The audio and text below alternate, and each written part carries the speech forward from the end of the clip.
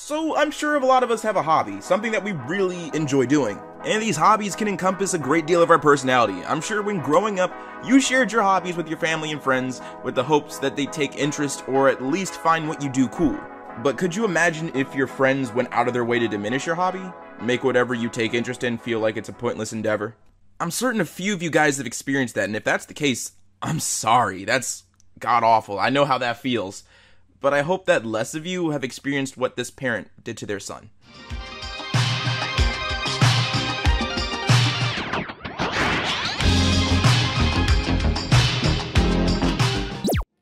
Today's story comes from r slash am I the asshole. It's a text subreddit that covers people's actions and whether or not they were the asshole in that situation. Very simple stuff. It can be really funny and also really tragic, and today we're going to be talking about the latter.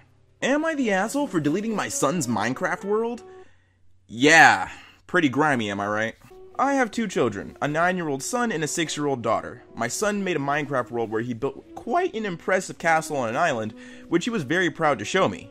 Now, that sounds pretty normal enough. I can remember countless times where I've shown my parents what I've built in Minecraft, and yet they've never done this to me. Since school was cancelled, he's had issues with waking up on time. He was supposed to wake up at 7 each morning, but for the past month, he's been sleeping in till about 9 or 10. I always set an alarm for him, but he sleeps right through it, and I don't wake him up because waking himself up is a skill that he needs to learn. I told him about two weeks ago that there's going to be consequences for him if he continues to sleep in every single morning.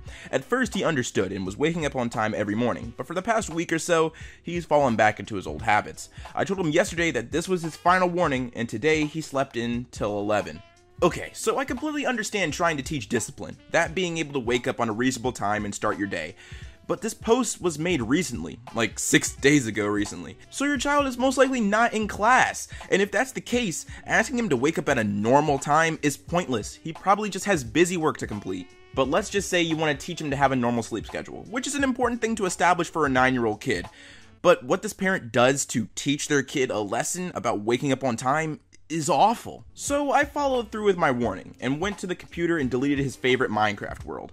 I also took away his computer privileges for the next month. And when I told him, he started screaming and crying.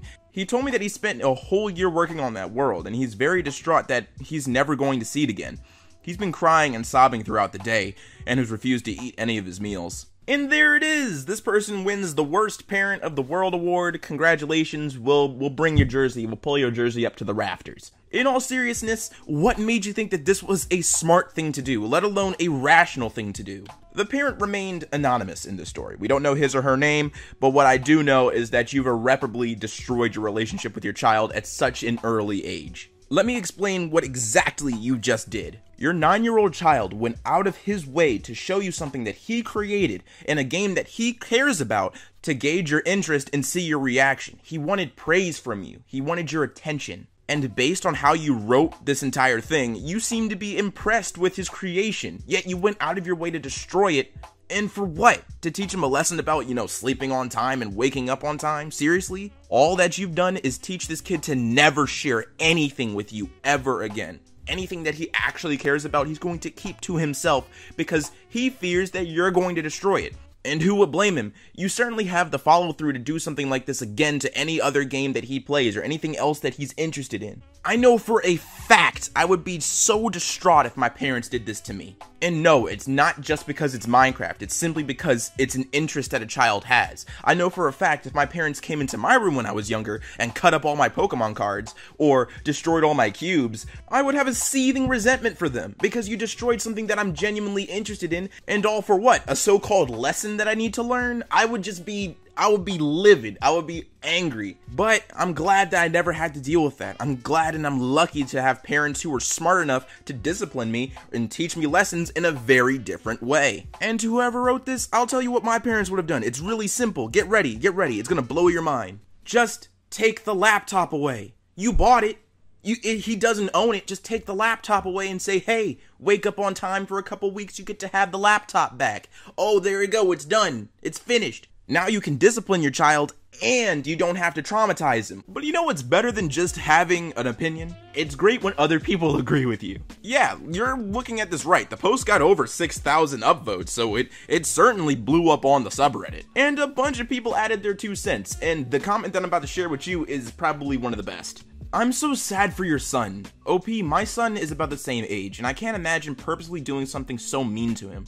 Our kids have had their entire world upended right now. No teachers, no friends, and we're their parents in their lifeline right now. And you just let your son know following the rules and being right and behaving were more important to you than helping him through these times.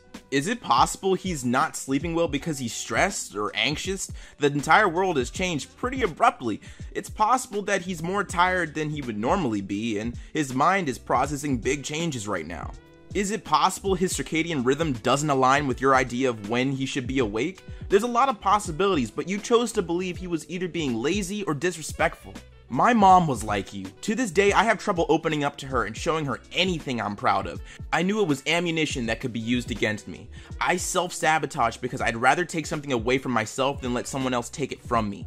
And even though I've been out of her home for 20 years, I still fight for myself to not self sabotage because no one can hurt me anymore.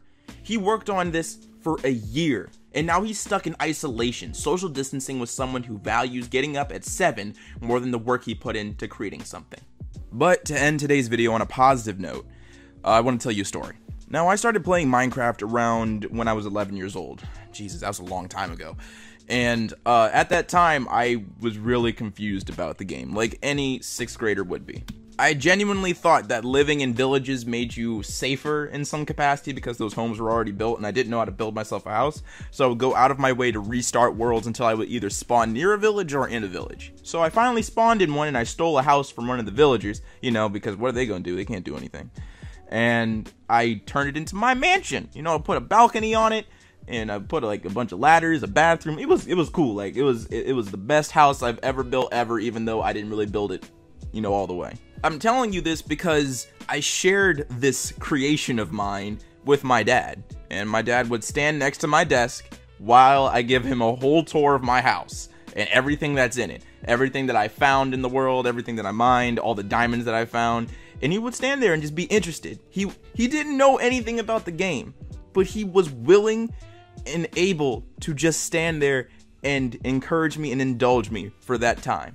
He made me feel that my little small house was the greatest achievement I've ever done in the game and something that was worth praise. And I'll never forget that simply because he showed a little bit of interest in my hobby, something that I enjoy doing. And in that moment, we had a shared interest. This parent seems to want to have that with their son. They're going out of their way to learn about what their son is interested in, but they're using that information to punish them, something that my parents, and especially my father, would have never done to me. So, the moral of the story here if you're a parent and you're watching right now and you're listening, there's better ways to discipline your children. And there's also awesome ways for you to connect with them. And playing video games or just indulging in any of their hobbies is a great way to start. What's up everybody, it's your boy Ailurus, aka Panda Daddy, and I hope you enjoyed today's video, and if you did, let me know in the comments down below, and leave a like if you liked the video, and if you're new to my channel, go ahead and subscribe fam, what you doing watching videos, and not subscribing, and if you're old, make sure you hit that bell and get these notifications every time. Seriously, I enjoyed making this video, a lot of you guys wanted more of this long form commentary content, so here you go, I'm gonna give you more of that. If you want to request any other topics you want me to cover, I'm pretty much open to everything, you can let me know in the comments down below. Um, there also is a poll in the eye icon in your top right hand corner. It's a you know little poll to see if you guys like the video or not and if I want to continue making stuff like this because I enjoy it and it seems like you guys enjoyed it too. Uh, also, big news if you haven't noticed, the r slash I'm a total piece of shit number nine got a million views. Like, what?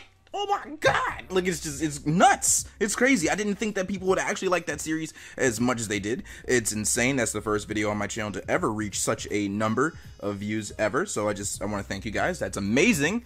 Uh it's a scary number because that's a that's a lot of people. That's whoo whoo and an even bigger thanks to all of my Patreon supporters. Thank you to Canned Eggplant, Finny, Jonas, Hostmar, Rachel, This Fool, Dustin, and Will Billy. Thank you so much for your support. It's greatly appreciated. If you want to help support the channel, there's two links in the description one to my merch store and one to my Patreon. And both funds go directly into the channel to make sure we can maintain what's happening here.